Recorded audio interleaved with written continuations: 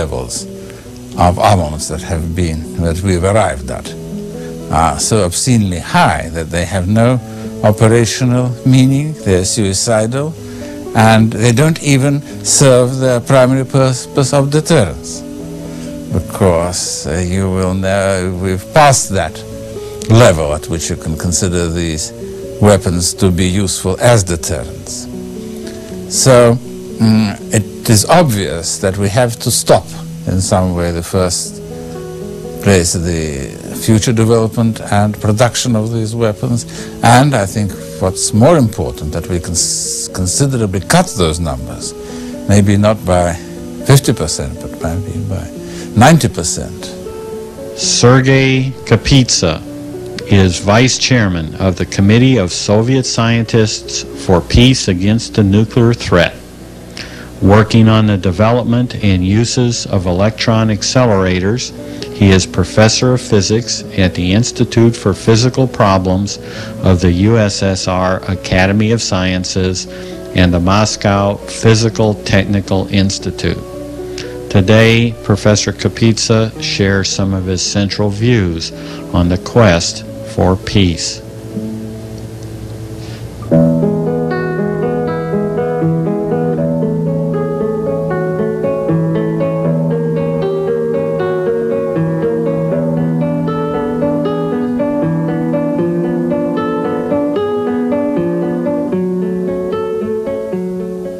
Professor Kapitza, one of the themes in your writings is the disparity that exists in the world today between the levels of progress of uh, scientific and technical nature on the one hand, and on the other hand, that of the progress of social and individual issues.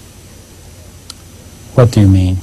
Well, the thing is that at present, I think the rate at which technology, mainly guided by science, has definitely overtaken the, the rate of our social development in the first place. And at present, the forces that we command as sort of mankind on a global nature are such that we're affecting our, our existence in a very major way. And this is a thing that I think has been recognized recently, well, maybe over the last decades, and is one of the most important modern phenomena that does have to be taken into account. You characterize the arms race as having a looking glass quality about it. What do you mean by the use of that metaphor? Well, there, there are two parties that are engaged in this, two major parties. And somehow uh, the actions of each of them are often reflected into the actions of the other. Although I must admit that the Americans have taken maybe a lead in this strange tango of two, as your president says. How did we come to be trapped in what you've characterized as a futile search for supremacy? What were the forces moving that along? Well, we arrived at that uh, state now. We didn't start with that state. In fact, immediately after the war, there was a certain balance of power that was um, really upset by the appearance of nuclear weapons. This is the new factor that exists now in the world that did not exist before, that has changed by orders of magnitude, by the numbers of zeros that you add to a number, the relative um, power which we can exert in this world of ours. You characterize the role of science as both creating and recognizing the current human dilemmas. What do you see to be the role of science? Well, in the first place, uh, scientists with the technologies have uh, suggested, invented, and developed, and finally, with the help of the military, deployed all these arms. This is what has happened. And this is the basic process in which scientists are involved. You can't get away from that for the better or for the worse. On the other hand, scientists have another very important obligation, that they, I think better than others, understand the consequences of what they've done. And usually this understanding comes at a much earlier stage than with any other forces that are instrumental in these developments. You've introduced as one of the notions of the new thinking the concept of common security. What are the antecedents of that notion and its applicability to the nuclear age? Well, I think it is a reflection of the uh, magnitude of global problems, of the global issues in the political sphere and the military sphere. The concept of uh, common security, treating it as a certain global phenomenon, means that we have to think in these terms, not in the terms of the security of a nation, of a group of nations, a political grouping of forces in the world, but on a much larger scale. And I think this is a very important development. As I say, it is a manifestation of the global magnitude of the forces that now operate in a political sphere. From the perspective of looking at the United States from across an ocean, what problems does the United States need to solve to recognize fully the problem of common security as you see it? Well, I think in the first place we have to identify that the identify the political mm, and sort of military posture of each government in establishing its own security. The protection of the realm is the first sort of duty of a king, of a monarch in the past, of a modern government uh, in charge of a nation state. But mm, now it so seems that even the powers that are commanded by a single nation are so great that we have to take into account, in the first place, its impact on the world as a whole, and on the second, we can see that the, I think that at present it is impossible, in fact, to establish uh, uh, a sense of security, of national security, without taking into account the security of other major powers. This is the concept of global security. It was developed by the Palme Commission, by the late uh, mm, Prime Minister of, of Sweden, and I think it's been a major contribution to the way we should look at these things. As you reflect on the legacy of the Reykjavik summit, where for the first time the leaders of the two superpowers met and called mutually for the abolition of a whole class of nuclear weapon systems that currently exist, and then for the reduction of up to 50% of the strategic nuclear arsenals of both sides. As you reflect on, on that legacy, what do you see as possible? Well, in the first place, we must understand that the present levels of armaments that have been, that we have arrived at, are so obscenely high that they have no operational meaning, they are suicidal, and they don't even serve their primary purpose of deterrence. Because uh, you will know we've passed that level at which you can consider these weapons to be useful as deterrents. So mm, it is obvious that we have to stop in some way the first place the future development and production of these weapons and I think what's more important that we can considerably cut those numbers maybe not by 50% but maybe by 90%.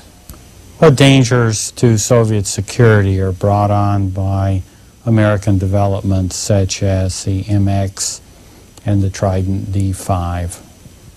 Well, these are the weapons of sort of the last generation that do have these properties of great power and great accuracy, and this is a very, the latest sort of threatening device. It is matched by an appropriate development in our case, but it hasn't led to any greater security in the world. That is the point. You see, we're developing exceedingly powerful weapons, can make them rather cheap and producing them at large numbers. And this hasn't led in any way to increasing our security. This is the peculiar, I should say, paradoxical uh, position at which we have arrived. You're rethinking the nature of deterrence and have characterized it as a dubious contraption. As you think about that concept, which has been a part of the nuclear literature for over 40 years, how do you think about it today? The decline of deterrence, however sort of distasteful this uh, whole concept may be, is in the first place uh, connected to the numbers that we now have. Say we've gone this overkill uh, capacity at which we've arrived. We can't even deter because the use of these weapons will in the first, first place uh, not only you will inflict uh, unimaginable damage on your opponent, but the backlash of these weapons will be such that their operational meaning is highly questionable. Not only questionable, I think there's no question. They're simply mm, uh, unacceptable to, any, to both parties. You've used the analogy of the computer as an analog to our world today. What does that reference mean to you? Well, it's a nice uh, analogy. I think it's a useful, at any rate, way of illustrating the disparity between our material development and the way in which we have to think about what's happening.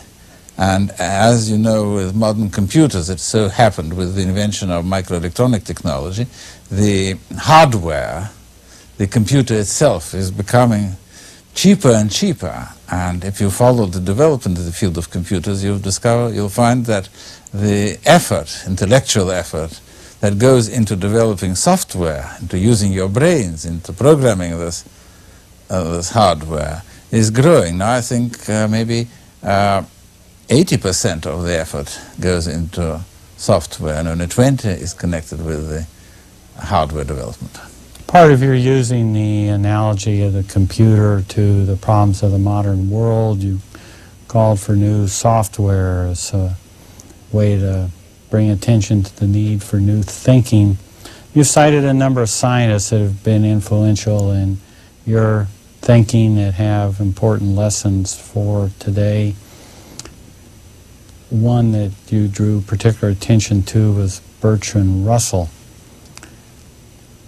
quoted him as saying, Remember your humanity and forget the rest. Well, this is a remarkable passage, I think. Anyone who's interested in these uh, problems should read the Russell-Einstein Manifesto. It came to be known. It was released in 1954, as far as I remember. It was signed by 10 most prominent scientists of that time. It appeared soon after the invention and demonstration of the power of the hydrogen bomb, when it became obvious that bombs are very cheap and have unlimited power, and it uh, discussed just the point you've uh, read, that we have to start thinking on these matters in a new way. If we don't do that, if we don't develop our software, uh, we will in a, be in a very poor shape. Now, after more than 30 years, I think this has started. A second person that you quoted was the great physicist Niels Bohr in calling for an open world. What is that about? The whole story is very interesting, and I must say that it is worth maybe recalling in greater detail. Niels Bohr is certainly the most influential in the way he's affected thinking about physics The physicists scientists of this century. Uh, his influence on quantum theory, the way we sort of discuss, we think, and study physics has had enormous influence. And I would even say that I would consider him to be one of maybe the greatest philosophers of our times, although I'm not sure that he would uh, like to be called a philosopher. Scientists have a certain uh, natural scientists have a certain, well, I should say, sensible apprehension concerning philosophy. But he really uh, developed our thinking in many important ways. Now, he contributed remarkably to the effort that led to the invention of the atomic bomb. In fact, he wrote the basic equations that described the process of fission. He explained this process, and uh, his followers really uh, developed these ideas and produced the technology, the sort of the hardware of modern atomic weapons. Now, uh, it so happened that he was uh, in Denmark after Denmark was occupied. I think in 42 or 43 he left that country because of persecutions by the Germans. He fled to Sweden. Very soon he was taken by plane to England, and then he came to uh, the United States, to Los Alamos, and joined, joined in this remarkable effort that led to the development of the first atomic bombs. But being a man of great sort of wisdom and remarkable intellectual power, although he did contribute even to the design of these bombs, he started thinking about what do they really mean, even before the bombs were working in 1944. And he understood that a new force has arrived earlier than anyone. And he started to think about what will that mean, how it will change the pattern of world's affairs, what can be done, how these weapons, the appearance of these weapons, will affect our world. He just started discussing these whole set of ideas with the statesmen of that time. First, he spoke with Roosevelt and with those who advised him on these matters. I think uh, Judge Frankfurter was one of them. And he had understanding and rapport with these politicians. They advised him to go and speak with Churchill. He crossed the ocean, Atlantic once more, came to London, and tried to discuss the whole matters with Churchill. Here he was unsuccessful, because his idea was uh, that uh, this, there's no secret of the atomic weapon. Uh, you must explain the whole effort that was kept secret from uh, your allies of that time, the Russians and the French, and see what can be done in the world in the future, bearing in mind the arrival of this absolutely new force. He recognized better than anyone the magnitude of all these things. He knew perfectly well there was no secret of this thing, it would be generally available. But he was not successful. In choosing to quote Niels Bohr nearly a half a century after he wrote those words, what do you want your fellow citizens of the world to think about? Well, it means a lot. In the first place, it shows that if you really think about problems that face our world, you can be rather well ahead of your time. And this is the mark of a really great person, and a great mind. In the second place, it demonstrates how slowly these ideas that have been pronounced, have been broadcast, have been delivered, he sent a letter to the United Nations. How slowly these things penetrate the public mind, became, become part of our, should say, conventional wisdom, and how slowly we change our mind on these matters. We spoke in the beginning that our technological and scientific development is moving much faster. Is this lag, this 50 years, that an idea pronounced only then becomes an important factor in sort of political and societal thinking. Yes, well, I must go back to the uh, remark, uh, to the story how uh, Bohr came to London to discuss with Churchill these issues. Now you must understand what was happening there. It was more or less the Second World War was coming to its victorious end. But on the other hand, the atomic bomb was coming, was arrive, to arrive in about a year's time. The Allies were ready to invade and, uh, and land in France. Now, at that moment, Bohr came along with his ideas that you must sort of think about an open world of the future, an idea that is becoming popular now. Uh, I must remind you that in those days, Churchill, with great difficulty, using all his power, a statesman and a diplomat and the very special connections that he had with the United States to persuade the Americans to make them privy to the secret of the atomic bomb. They kicked out the French. Of course, the Russians were not told. And that, in fact, is the origin of the force de frappe attitude of the French on these whole matters. That they decided to do it all independently. It back, goes back to those days. And as you know, de Gaulle was not the best friend of Churchill. And these are the origins of the present policies of France in this area.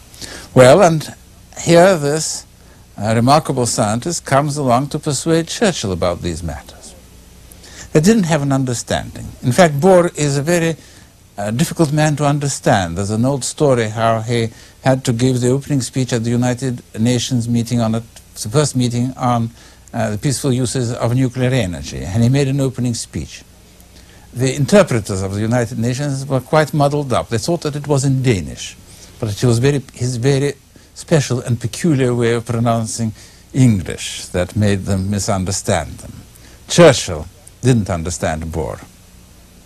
In fact, they wound up the meeting rather hastily, and uh, Churchill told his secretaries that the best thing to be would be to, to put Bohr into prison until the end of the, uh, the war, because he is on the verge of committing a mortal crime.